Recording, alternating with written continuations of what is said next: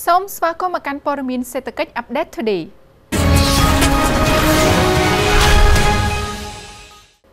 នាយករដ្ឋមន្ត្រីកម្ពុជា ប្រកាសមិនបញ្ឈប់ការអភិវឌ្ឍខេត្ត4នៅភាគឦសានក្រោយដកខ្លួនចេញពី CLV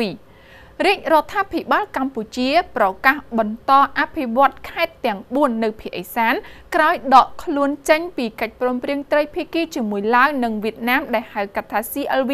ដែលបានអនុវត្តមក25ឆ្នាំទៅហើយនោះ។ យោងតាមសារសម្លេងរបស់សម្ដេចធិបតីហ៊ុនម៉ាណែតនាយករដ្ឋមន្ត្រីនៃកម្ពុជាបានបញ្ជាក់ថា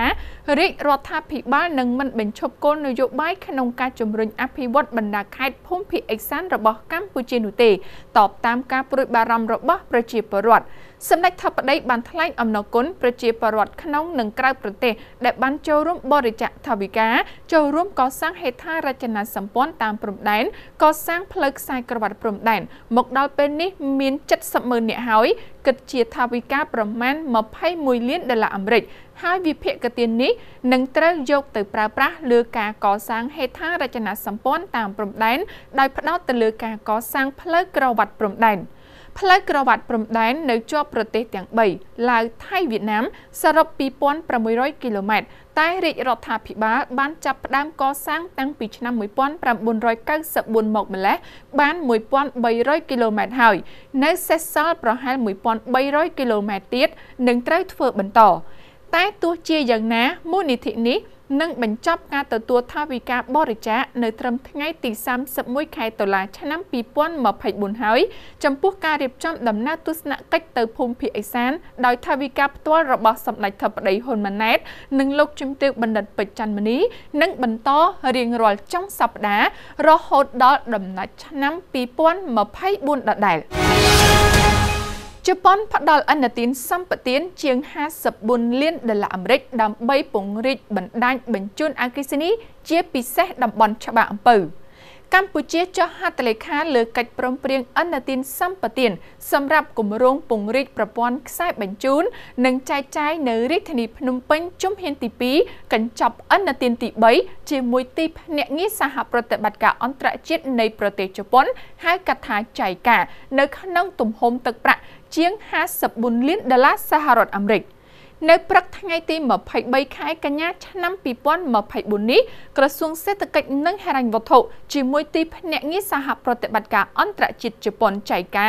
បានចុះហត្ថលេខាលើកិច្ចព្រមព្រៀងអន្តទានសម្បទានជំហានទី2ដែលជាកញ្ចប់អន្តទានទី3មានទំហំទឹកប្រាក់7988លានយេនប្រហែល54លាន3សែនដុល្លារអាមេរិក គម្រោងនេះនឹងពង្រីកប្រព័ន្ធខ្សែបញ្ជូន និងចែកចាយនៅរាជធានីភ្នំពេញ ពង្រីកសមត្ថភាពផ្គត់ផ្គង់អគ្គិសនីនៅរាជធានីភ្នំពេញតាមរយៈការសាងសង់អនុស្ថានីយ៍អគ្គិសនីថ្មី ការសាងសង់ប្រព័ន្ធខ្សែបញ្ជូនអគ្គិសនីអាកាសតង់ស្យុងខ្ពស់និងការសាងសង់ប្រព័ន្ធខ្សែបញ្ជូនអគ្គិសនីបង្កប់ក្រោមដីតង់ស្យុងខ្ពស់និងមធ្យមព្រមទាំងការធ្វើឲ្យប្រសើរឡើងនៅអនុស្ថានីយ៍អគ្គិសនីដែលមានស្រាប់ផងដែរ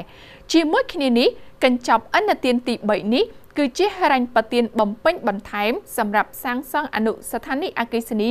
និងប្រព័ន្ធខ្សែបញ្ជូនអគ្គិសនីបន្តបន្ទាប់ទៀតដែលតភ្ជាប់ទៅតំបន់ច្បារអំពៅ។កម្ពុជាថ្លែងអំណរគុណដល់រដ្ឋាភិបាលនិងប្រជាជនជប៉ុន ដែលបានចូលរួមគាំទ្រដល់កិច្ចអភិវឌ្ឍសង្គមសេដ្ឋកិច្ចកម្ពុជាដែលបានផ្ដល់ហិរញ្ញប្បទានសម្រាប់កិច្ចសហប្រតិបត្តិការអភិវឌ្ឍផ្លូវការ ODA ដែលបានឆ្លើយតបចំទិសដៅនៃកម្មវិធីគោលនយោបាយអាទិភាពរបស់រាជរដ្ឋាភិបាលកម្ពុជា និងយុទ្ធសាស្ត្របញ្ចកោណដំណាក់កាលទី1ក្រោមការដឹកនាំរបស់សម្ដេចធិបតីហ៊ុនម៉ាណែតនាយករដ្ឋមន្ត្រី នៃព្រះរាជាណាចក្រកម្ពុជាសង្ហបុរីនឹងភ្ជាប់ជើងហោះហើរមកកាន់ខេត្តសៀមរាបដោយផ្ទាល់ចាប់ពីខែវិច្ឆិកាតទៅនេះ កម្ពុជាត្រៀមហោះហើរត្រង់ជាមួយនឹងសង្ហបុរីដោយផ្ទាល់ចាប់ពីខែវិច្ឆិកាខាងមុខនេះតទៅ ហើយដែលនេះជាគោលដៅថ្មីមួយតភ្ជាប់ការធ្វើដំណើរចេញពីអាកាសយានដ្ឋានសង្ហបុរី Changi Airport ទៅកាន់អាកាសយានដ្ឋានអន្តរជាតិខេត្តសៀមរាប។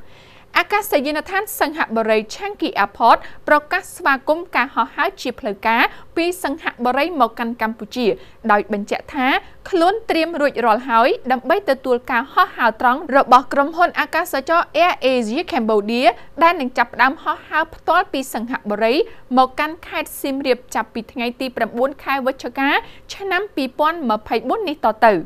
នេះជាការតបភ្ជាប់គោលដៅថ្មីមួយទៀតដែលផ្ដល់ឱកាសឲ្យភ្ញៀវទេសចរកាន់តែមានឱកាសងាយស្រួលធ្វើដំណើរចូលមកកាន់កម្ពុជា តាមរយៈការហោះហើរត្រង់ដោយផ្ទាល់ហើយជំរុញឲ្យវិស័យទេសចរកាន់តែមានភាពរីកចម្រើនទៅមុខបន្ថែមទៀត។ សម្បត្តិយន្តហោះនឹងត្រូវបានដាក់លក់នៅថ្ងៃនេះសម្រាប់ជើងហោះហើរទៅមករវាងសៀមរាបសង្ហបុរីហើយចាប់ផ្ដើមហោះហើរពីថ្ងៃទី9ខែវិច្ឆិកាឆ្នាំ2024នៅក្នុងតម្លៃសម្បត្តិសរុបចាប់ពី109ដុល្លារនៅក្នុងមួយជើងការហោះហើររវាងសៀមរាបសង្ហបុរីប្រចាំថ្ងៃរួមមានទី1សៀមរាបទៅសង្ហបុរីតាមរយៈជើងហោះហើរលេខ KT 320ចេញដំណើរម៉ោង8:45នាទីទៅដល់ម៉ោង12និងទី2សង្ហបុរីមកសៀមរាបវិញតាមរយៈជើងហោះហើរ KT 321ចេញដំណើរម៉ោង12:40នាទី មកដល់ម៉ោង13:55នាទីសូមបញ្ជាក់ថាអាកាសយានដ្ឋាន Changi Airport គឺជាអាកាសយានដ្ឋានអន្តរជាតិធំជាងគេនៅក្នុងប្រទេសសិង្ហបុរី និងជាបណ្ដុំនៃប្រព័ន្ធដឹកជញ្ជូនធំជាងគេបំផុតនៅក្នុងតំបន់អាស៊ីដែលមានក្រុមហ៊ុនអាកាសចរជាង100បានធ្វើប្រតិបត្តិការពីអាកាសយានដ្ឋាននេះហើយដែលនឹងហោះហើរនៅក្នុងតំបន់អាស៊ីអូសេអានីអាហ្វ្រិកអឺរ៉ុបមជ្ឈមបូព៌ានិងអាមេរិកខាងជើងជាដើមសូមអរគុណចំពោះការតាមដានទស្សនាព័ត៌មានសេដ្ឋកិច្ច Update Today